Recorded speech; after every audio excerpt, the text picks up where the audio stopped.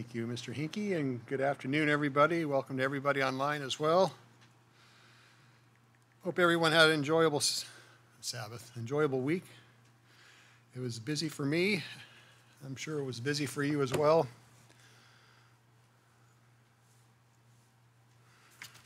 You know, as we approach Passover and Days of Unleavened Bread, I'd like to talk about something that we all have in common, and that's something we all have through that is something we have in common as well. And I'll make that clear as we go through this. You know, God has given us His Holy Spirit to those who have repented, accepted Christ as our Savior. It is given by the laying on of hands by the elders in the church. 1 Timothy 4:14 says, 1 Timothy 4:14, "Do not neglect the gift that is in you, which was given to you by prophecy with the laying on of the hands of the eldership." So we receive the Holy Spirit through God's elders, his people. This is how God operates today. Since the Holy Spirit was given on the day of Pentecost in the book of Acts, that's how he operates. It's through the elders that the Holy Spirit is given. There are a few exceptions to the rule. One was the day of Pentecost itself. I think we all remember that in Acts 1 and 2.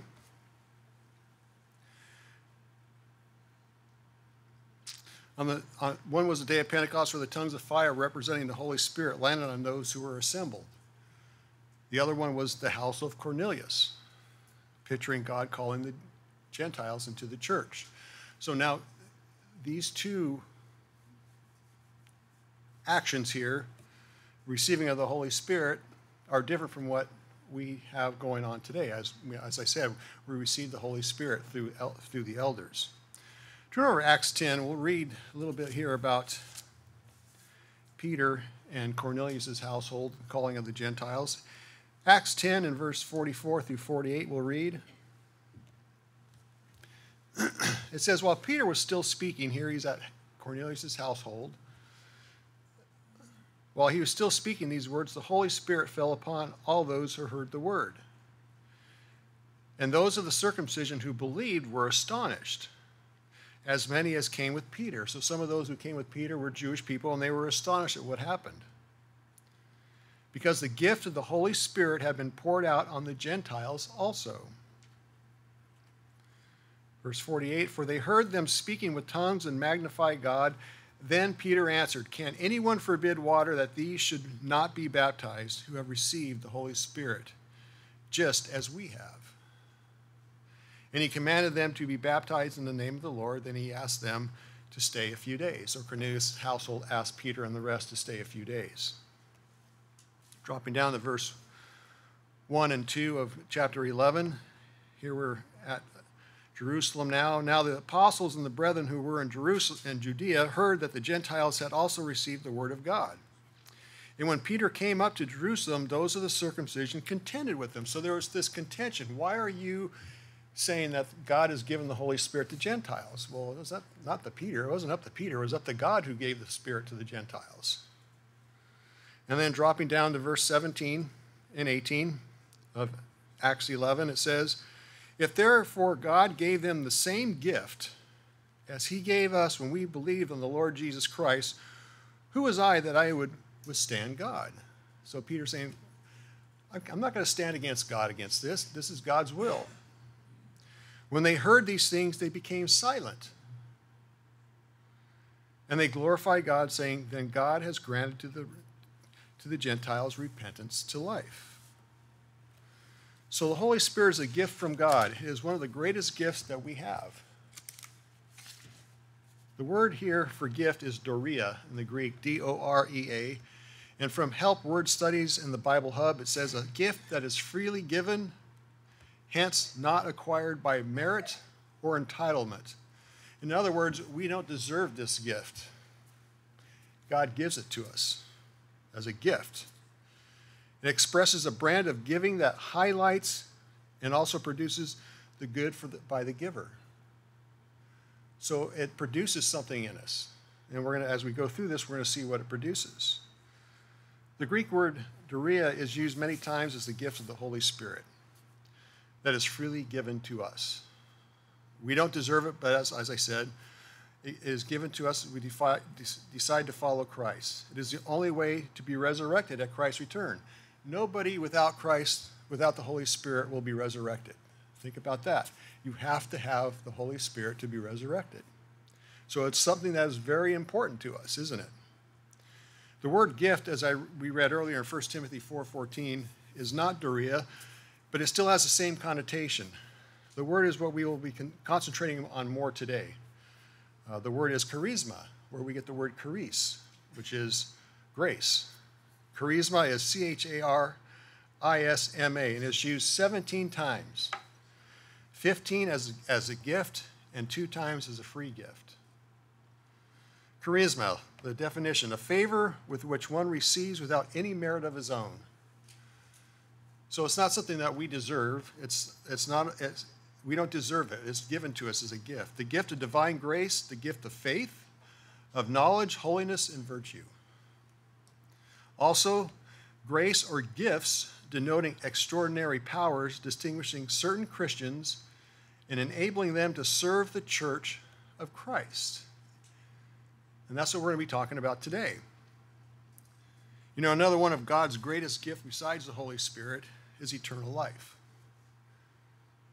That comes, as mentioned before, is through the Holy Spirit. Romans 6.23 says, For the wages of sin is death, but the gift of God is eternal life in Christ Jesus our Lord. That word gift there in Romans 6.23 is charisma.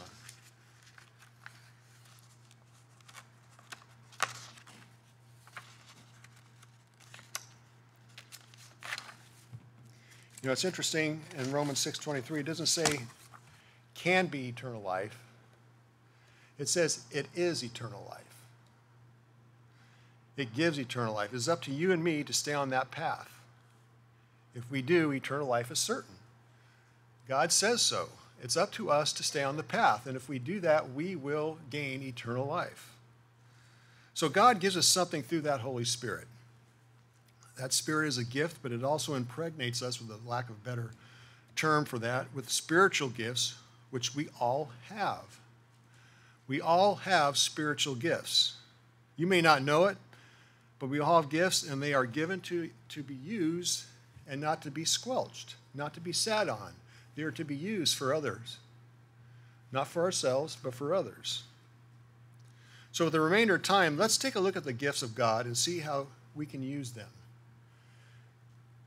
Again, there are many aspects of the gift of God. One we just read is eternal life. And how do we receive eternal life? we must have the free gift, which is the Holy Spirit. Also, Jesus Christ is a gift given to us as well. Think about that. He is a gift given to us by God the Father. He sacrificed himself for all mankind. But right now, at this point in time, he's working with you and I, he's working with the church. So these gifts that we're talking about today are for people who have God's Holy Spirit or in the church. Acts 2:38 says, Acts 2:38 Then Peter said to them, "Repent and let every one of you be baptized in the name of Jesus Christ for the remission of sins, and you will receive the gift, the dorea of the Holy Spirit." It's a free gift. It's nothing again, nothing that we deserve. Through that Holy Spirit, God gives us gifts, charisma, for tools in serving the church. They are tools for serving in the church. So let's look at Romans 12. This is the first section here that talks about spiritual gifts from the Holy Spirit. We'll start reading in verse 3 of Romans 12. For I say, through the grace given to me, to everyone who is among you, not to think of himself more highly than he ought to think, but to think soberly, as God has dwelt to each one a measure of faith. For as we have many members in one body, but all the members do not have the same function. That's something we need to have make clear is there are many members, but we don't have the same function. We all have different areas that we work that God's working with us in. So we being many are one body in Christ and individually members of one another. Verse 6 Having then gifts differing according to the grace that is given to us. So our gifts, we'll stop there. Our gifts differ according to God's grace that He has given to us. And then he says, in the rest of verse 6, the first part of it, let us use them. Let us use these gifts. These gifts must be used, and they are these are gifts are given to as God sees fit. He gives them to us as He sees fit. Again, in verse 6, having then gifts differing according to the grace that is given to us, let us use them.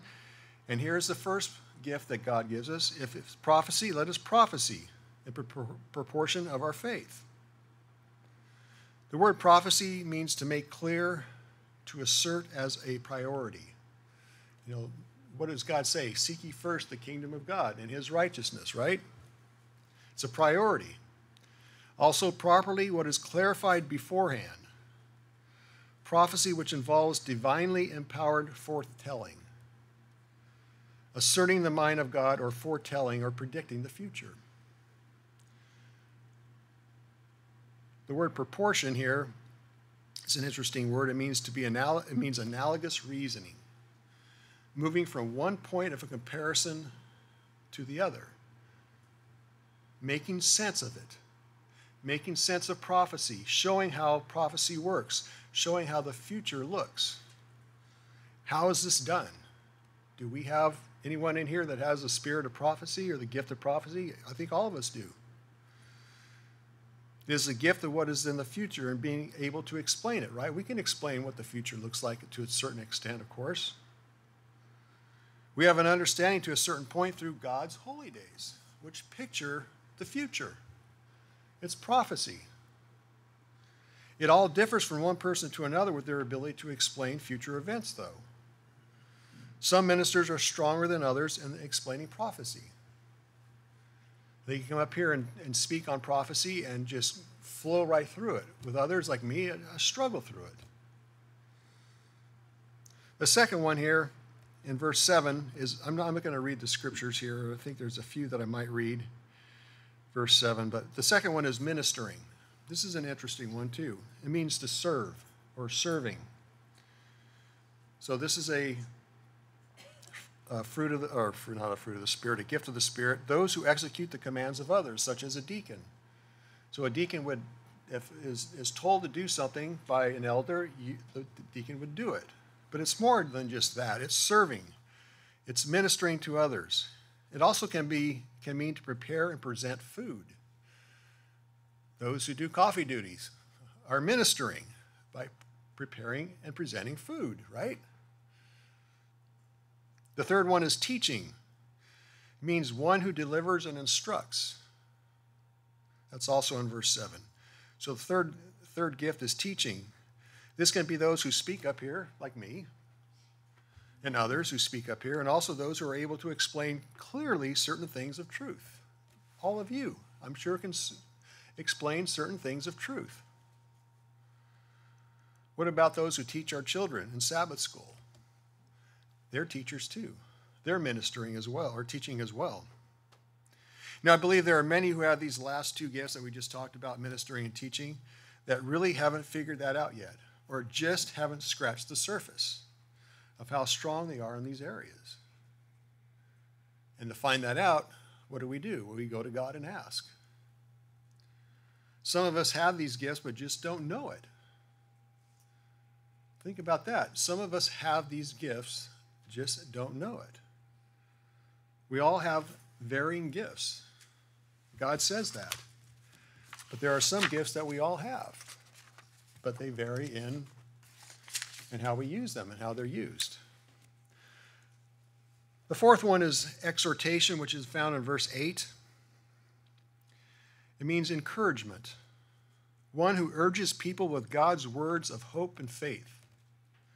It can mean carrying God's message to someone else. So, someone who, who needs to be encouraged, we give them God's message of comfort, of compassion, of love, of mercy. Give you an example. Turn over, keep your hand there, and we'll turn over to 2 Corinthians 1. 2 Corinthians 1.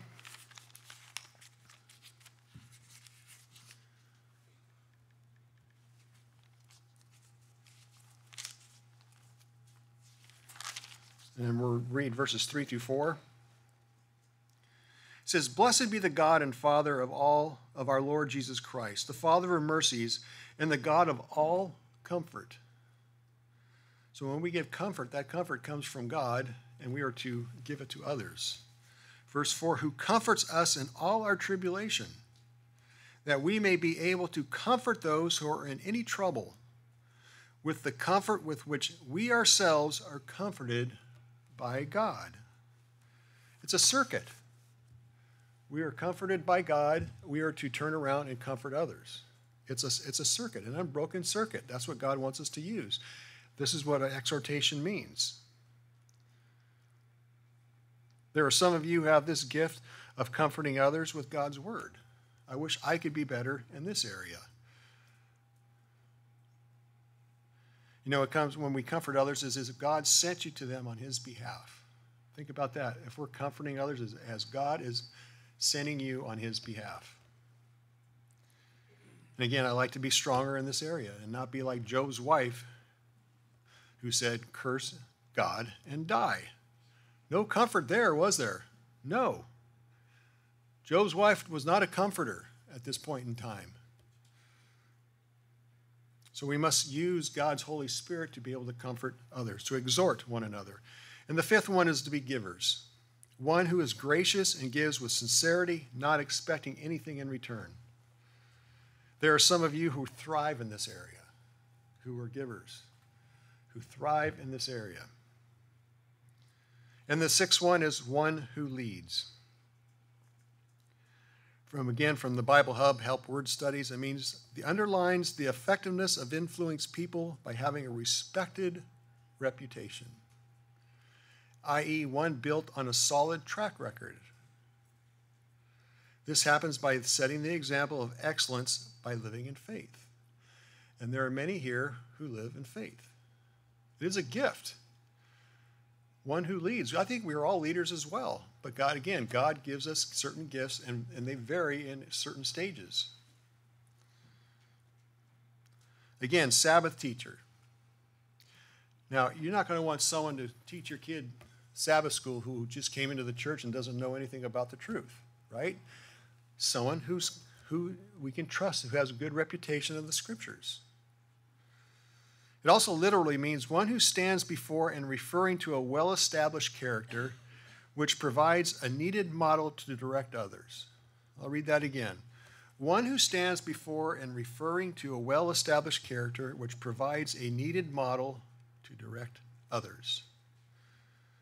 Who does this describe? Certainly not me. It describes Jesus Christ, the perfect leader. He led his disciples to godliness. He led his disciples to eternal life, to repentance. He was the perfect teacher. He was a perfect minister. He was a perfect leader. I believe he, I'm sure he was a perfect encourager too, as well. The seventh, the seventh one is being able to show mercy. Acting on God's terms and showing his mercy to bring help to those in need. That's showing mercy. We do this with a cheerfulness, with cheerfulness, or ready to respond with a cheerful heart.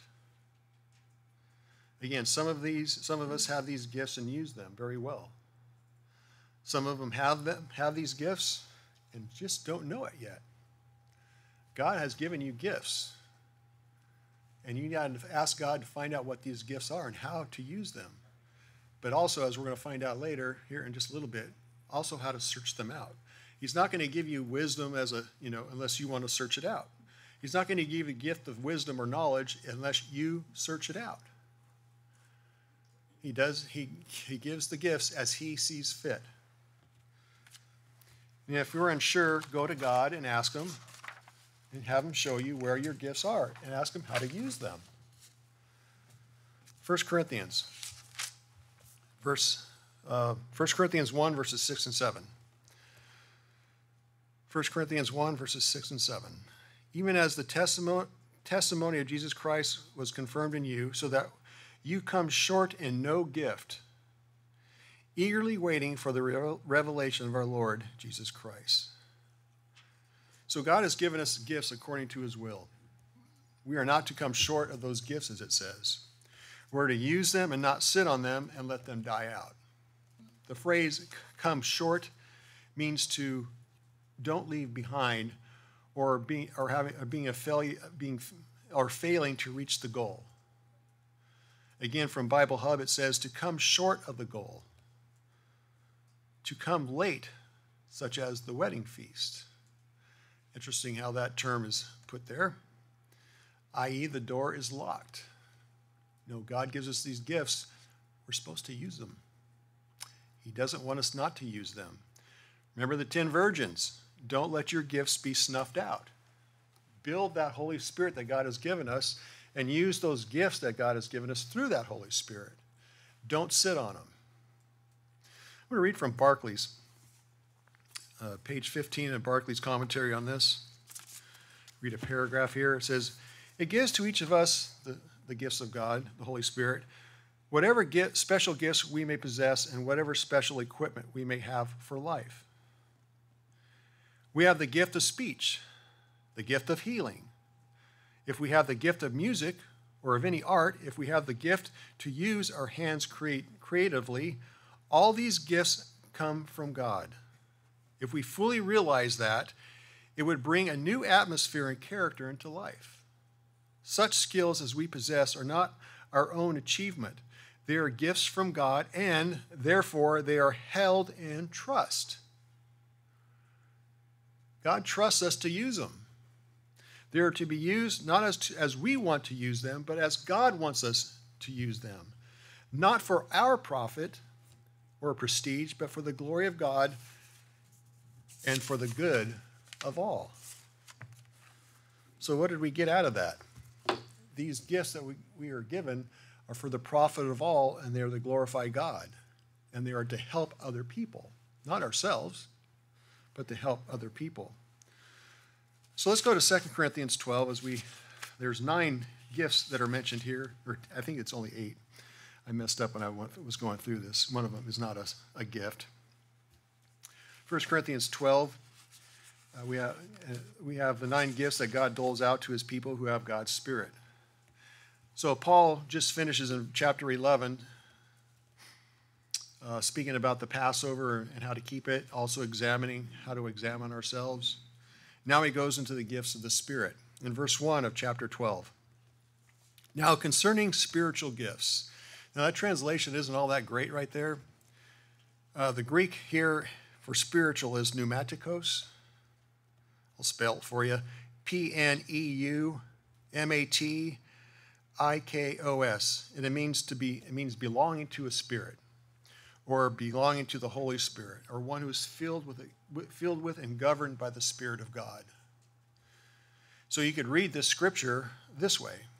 Now, concerning the things of the Holy Spirit. You could read it that way. Or you could read it this way. Now, concerning the things of the Spirit. Or you can say, concerning spiritual things. And that's what he's talking about. He's talking about spiritual things, he's talking about gifts from the Holy Spirit. So now concerning spiritual gifts, brethren, I do want I do not want you to be ignorant. God doesn't want us to be ignorant by the gifts that he gives us. He wants us to know that we have them.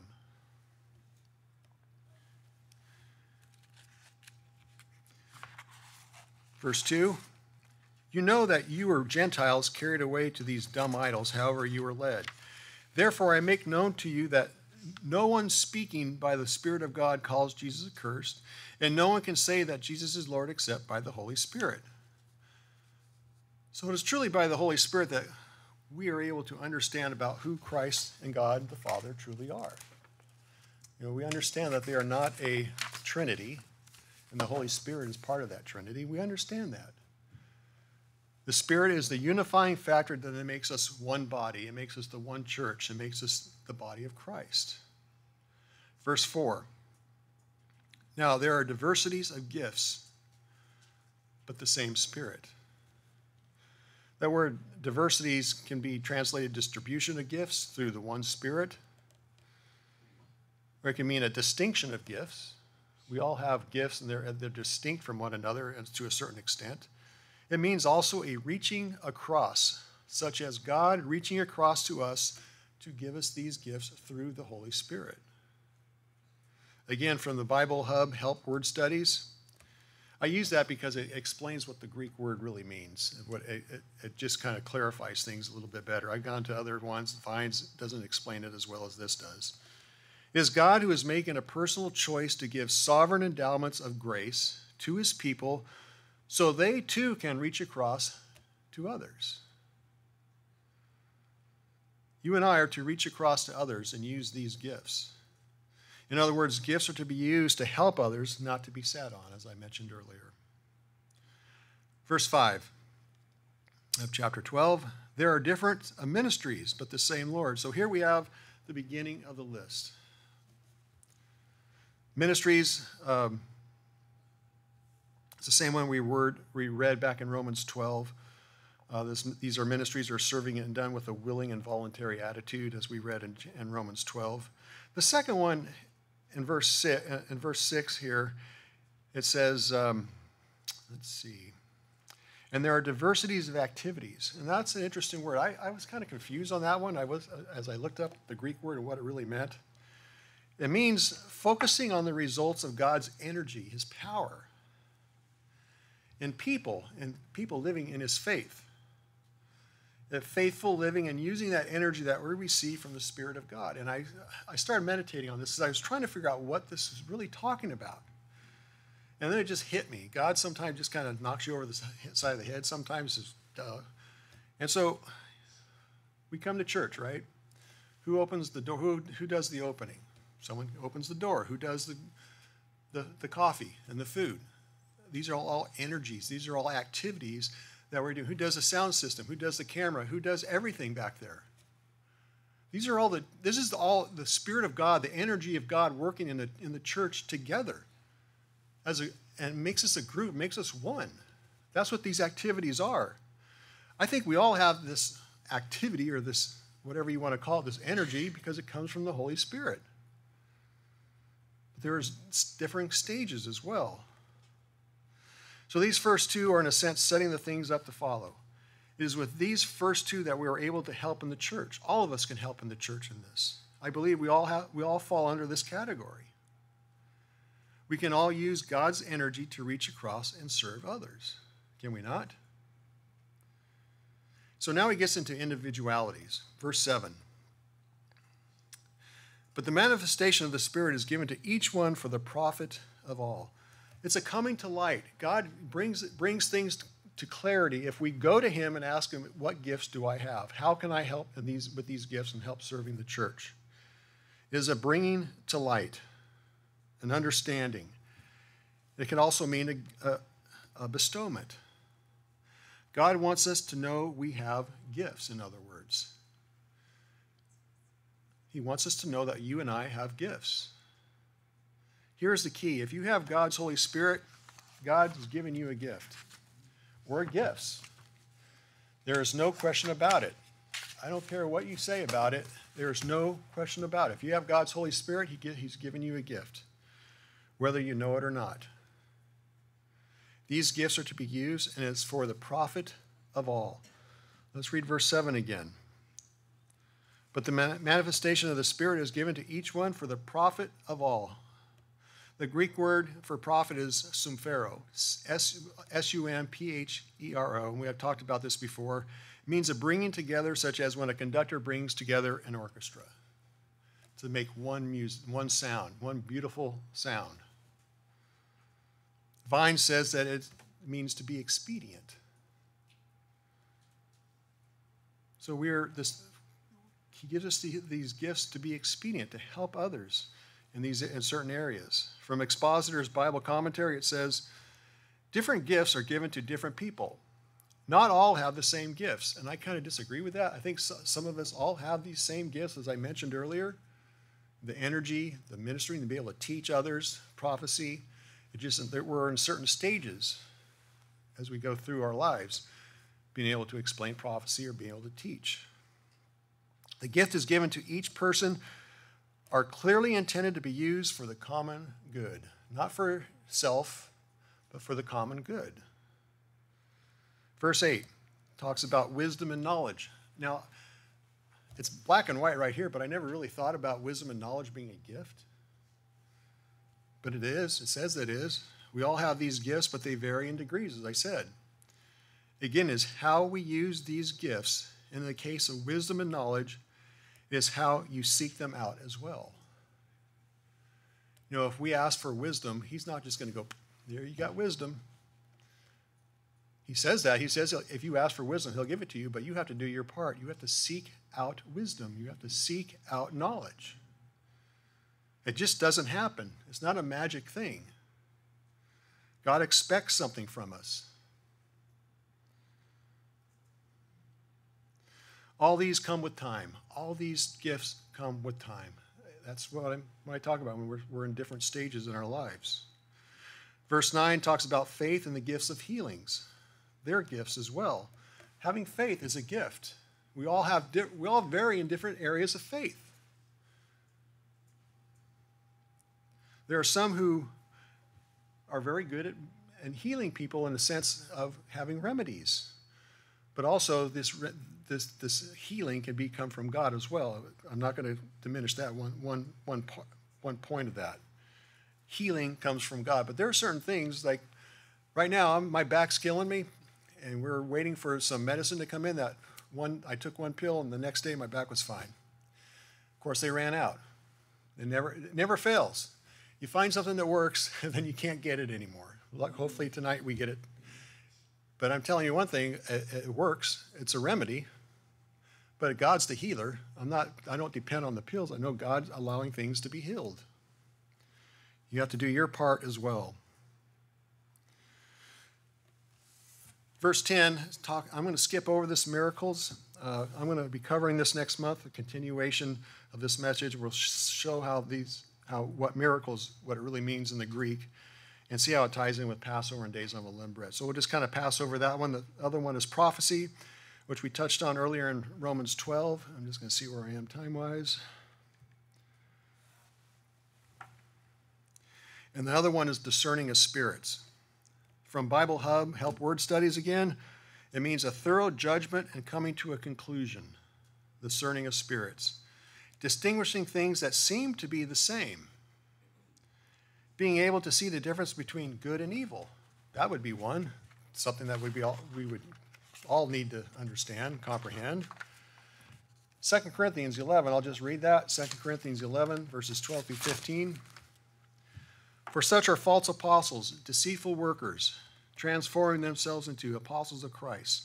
And no wonder for Satan himself transform himself transforms himself into an angel of light. We need to be able to discern what is right and what is wrong, what is truth and what is a lie. Therefore, it is no great thing if his ministers also transform themselves into ministers of righteousness, whose end will be according to their works.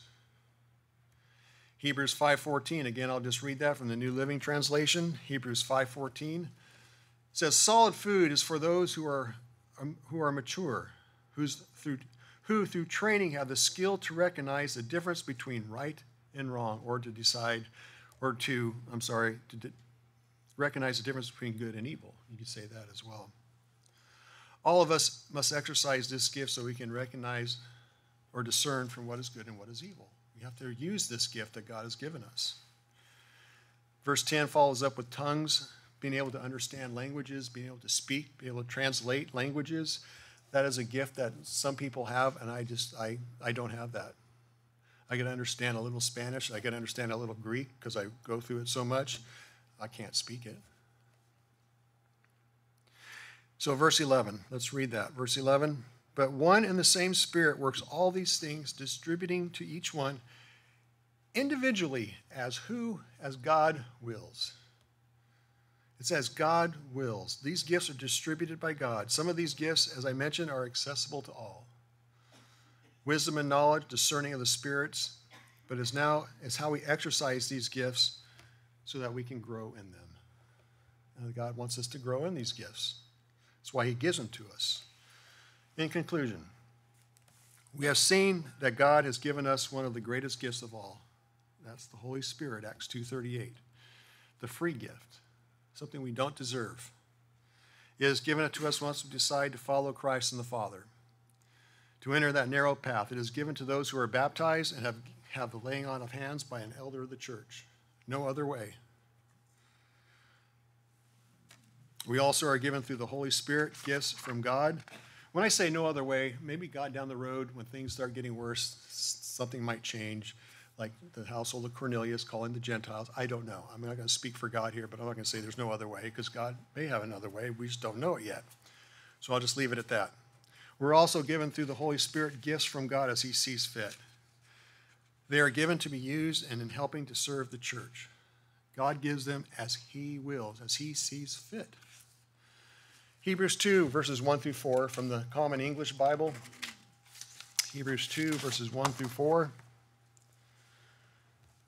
This is why it is necessary for us to pay more attention to what we have heard, or else we may drift away from it. Verse 2 The message that was spoken by angels was reliable, and every offense and act of disobedience received an appropriate consequence. There are consequences to our actions. There are consequences if we neglect God's Holy Spirit and neglect the gifts of God. There will be consequences if we just turn our back on it. Verse 3 How, we, how will we escape if we ignore such great salvation? You know, part of salvation is to use what God gives us, is it not? Use the Holy Spirit, use those gifts He gives us. It was first, it was first announced through the Lord, and then it was confirmed by those who heard Him. Well, who heard Him? The disciples and the followers of Christ heard him, heard Jesus Christ speak the truth. Paul heard it as well. He was taught by Christ, literally taught by Christ. He heard them. Verse 4 God also vouched for their message with signs, amazing things, various miracles, and gifts from the Holy Spirit, which were handed out the way He wanted. It's the way God wants how he hands these gifts out. It's according to God's will that he doles these gifts out. 1 Peter 4, verse 7. Last scripture here, 1 Peter 4, verse 7.